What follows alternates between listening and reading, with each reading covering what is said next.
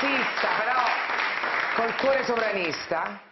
Ma diciamo che ritengo che oggi il solo modo per difendere i diritti sociali dei lavoratori e delle classi più deboli, nonché la democrazia, sia insistere sulla sovranità nazionale come baluardo di resistenza rispetto alle potenze post-democratiche dell'economia, cioè l'economia globale mira a superare le sovranità nazionali, dice per evitare i conflitti, le guerre, in realtà per rimuovere democrazia e diritti sociali, una grande controrivoluzione mm. gestita dall'elite cosmopolitica a nocumento dei lavoratori e delle classi popolari, questa è, è la globalizzazione.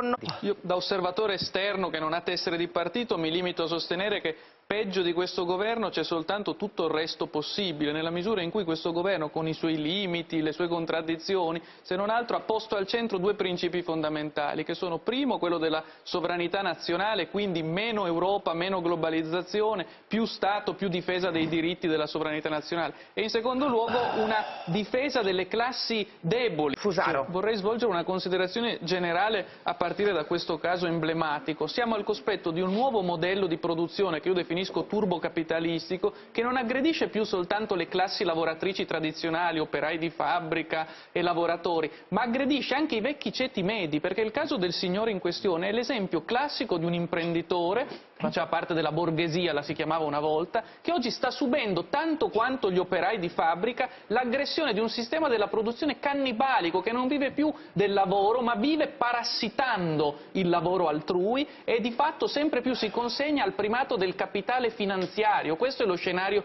in cui ci troviamo, per cui se non riusciamo a porre un limite al sistema dominante, esso si letteralmente... Vedo testa e caprarica disperati ma mi spiace per l'arcigno signore filo albionico prima contraddiceva cos'è? Cos'è? filo albionico? filo albionico perché fa il peana dell'Inghilterra con il rispetto in Italia il marxismo era rappresentato una volta in Italia il marxismo era rappresentato da Galvano della Volpe e Lucio Colletti con cui ho avuto l'onore di laurearmi.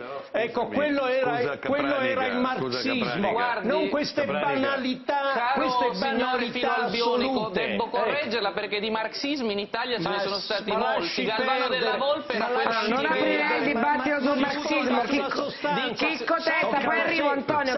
Ma essenzialmente la globalizzazione è un intreccio di tecniche e capitalismo. È molto ingenuo pensare che la tecnica sia un altro mondo rispetto al capitalismo la tecnica è un veicolo fondamentale del capitalismo. La globalizzazione comporta una competitività al ribasso una distruzione dei posti di lavoro. Significa se, che se in India producono a 5 euro ciò che in Italia pur con maggiori competenze si produce a 10 si dovrà produrre in, in India abbassando i costi dei, lavora, dei lavoratori, distruggendo le imprese locali. Questa è la bellezza della globalizzazione, per cui le possibilità sono due, o la secondiamo e procediamo verso le ecatombi dei lavoratori e degli imprenditori, come il caso del nostro amico, oppure proviamo a regolamentarla cercando di fare un, una, una, un processo di globalizzazione più civile, più umana, allora, che Antonio, implica una potenza del politico, la capito, possibilità sovrana di disciplinarla. Due cose parallele, tecnologia e globalizzazione sono il nemico da questo punto di vista.